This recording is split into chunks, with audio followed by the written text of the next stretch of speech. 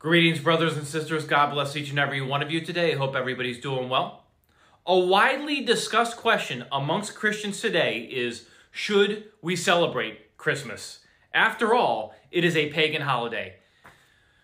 I can't tell you how many emails and comments I'm seeing of people that are being told that uh, they're not truly saved if they celebrate Christmas. Um, people are just confused because they're being told they shouldn't be around their family members during Christmas. They have to just stay away from it. I wanted to do a video today discussing this uh, from a biblical standpoint. And actually, to do this, a couple years ago, I did an article over at Harbinger's Daily. So if you go to harbingersdaily.com, uh, you'll find my, if you actually just type my name, Chad Thomas, in the search bar, you'll find all my articles. Uh, a lot of good ones you can share with family members, friends, and, and all that good stuff.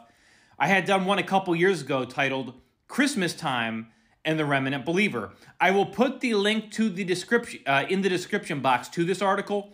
Please, if you know someone that's asking this question, that's a believer, and saying, Should I celebrate Christmas? Send this article to them. Uh, it's uh, all the Bible scriptures. When you go to the article, you can click on them, they're um, attached to the article. But let me read some of this to you. A widely discussed question amongst Christians today is Should we celebrate Christmas? After all, it's a pagan holiday. We all heard the saying, when you see Christmas lights go up, that means Thanksgiving is around the corner. Each year, it seems that the Christmas decorations and lights are getting up, getting put up earlier and earlier. The sad part is, the majority of the world has no clue what the real meaning of this season is and what we truly should be celebrating. How can Christians use Christmas as an opportunity to be lights in the darkness. Most of the world celebrates December 25th by putting up Christmas trees and decorations and telling their kids that a fat guy in a red coat is going to visit them that night with his reindeer and give them presents. The sad thing is the word Christ is in Christmas. For the most part, the message of Jesus Christ is shunned during this holiday season, which begins way before December 25th. But people will get all excited about the mention of Santa Claus, his reindeer, his elves, and the North Pole. Most of the world knows that the theme behind Christmas is that it is Jesus' birthday. Now, do I believe Jesus was born on December 25th? Absolutely not. So then, why does the world think his birthday is on December 25th?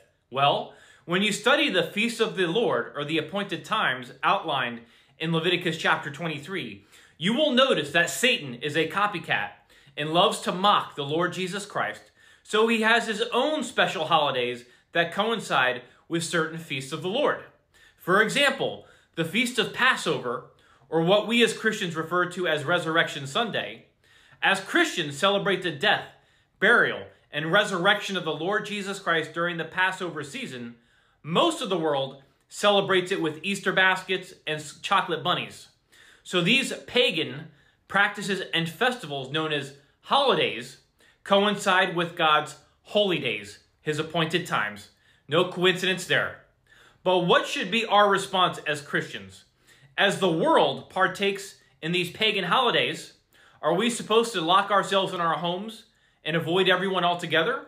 Or can we use what the world celebrates as an opportunity for us to share the gospel even more?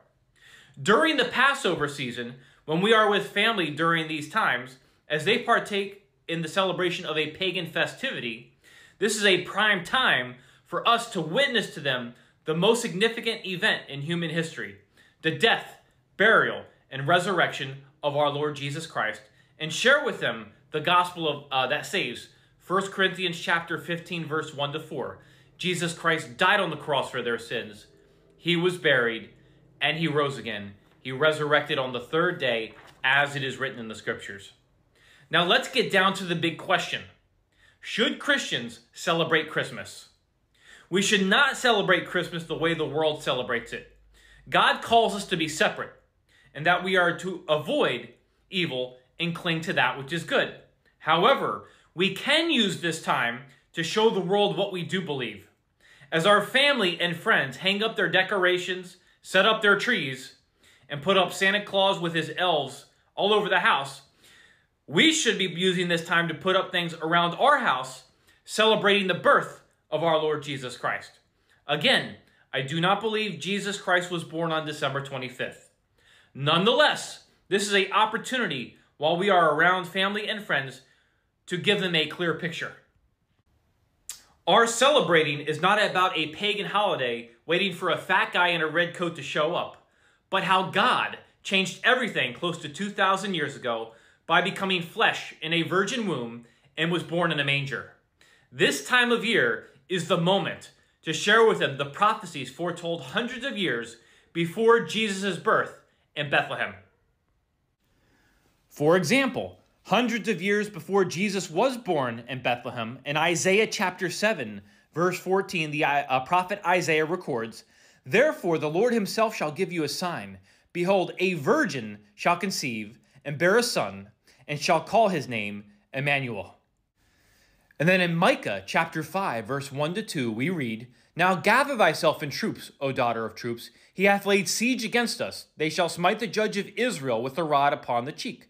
But though, Bethlehem Ephratah, though thou be little among the thousands of Judah, yet out of thee shall he come forth unto me that is to be ruler in Israel, whose going forth have been from old, from everlasting. So, this Christmas season, let us not avoid family and friends as they celebrate the wrong things, but let us be there to share with them the way, the truth, and the life Jesus Christ. Let us show our loved ones who we represent and that we and what we celebrate is the true light that lighteth every man that cometh into the world. In Matthew chapter 5, verses 14 to 16, the Lord Jesus Christ says the following You are the light of the world. A town built on a hill cannot be hidden. Neither do people light a lamp and put it under a bowl. Instead, they put it on its stand, and it gives light to everyone in the house. In the same way, let your light shine before others, that they may see your good deeds and glorify your Father in heaven. I hope this has helped some of you out there that have been asking the question Should we celebrate Christmas? After all, it's a pagan holiday. Again, the answer is simple. We should not be celebrating Christmas the way the world celebrates it, but we need to show the world what we believe. How that this is not about a fat guy in a red coat with his reindeer and elves, but how God changed everything close to 2,000 years ago by becoming flesh in a virgin womb and was born in a manger. Let your light shine this Christmas season. Let's show the world what we do believe. And it's not about Santa. It's not about uh, celebrating uh, the pagan festivities the way the world does. But let us show them what we do believe. And it's all about the death, burial, and the resurrection of the Lord Jesus Christ. Let's proclaim that truth. I pray this video has helped some of you out there that have been asking this question that's being that's being attacked by other people, saying you're not saved because you're celebrating Christmas and all this other hogwash. Send this article to anyone, or this video and article, which will be in the description box, to anyone you know that's asking this question Should we celebrate Christmas? God bless you guys. I pray this has helped some of you out there. Love you all.